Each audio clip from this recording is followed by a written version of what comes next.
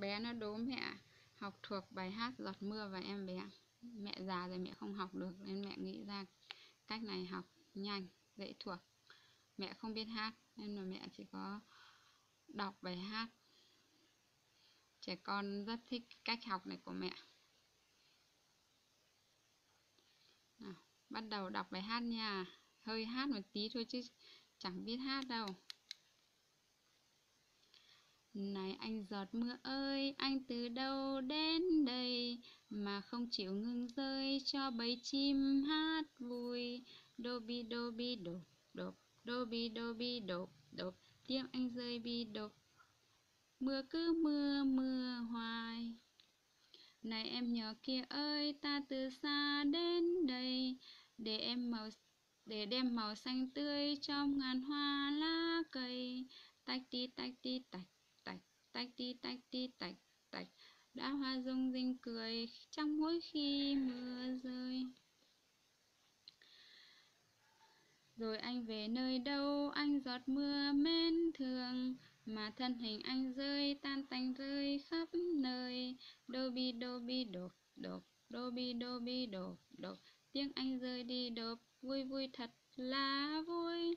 Rồi anh về nơi đâu, anh giọt mưa mến thương mà thân hình anh rơi tan tành tơi khắp nơi.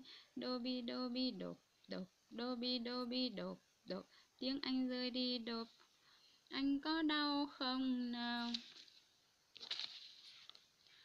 Chạy theo dòng sông xanh, ta tìm ra biển đông rồi khi mặt trời lên, ta thành mây trắng bay. Vi vu vi vu vù vù vi vu vi vu vù vù do đưa mây bay về, ta ghé thăm em đây. Cảm ơn người anh yêu, anh giọt mưa mến thương.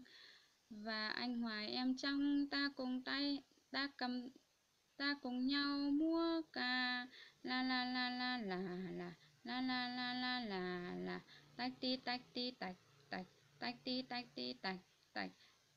Tiếng ca vang vang tràn hòa, vui vui thật là vui la la la la la la. La la la la la la. Tách ti tách ti tách tách. Tách ti tách ti tách tách. Tiếng ca vang tràn hòa, vui vui thật là vui.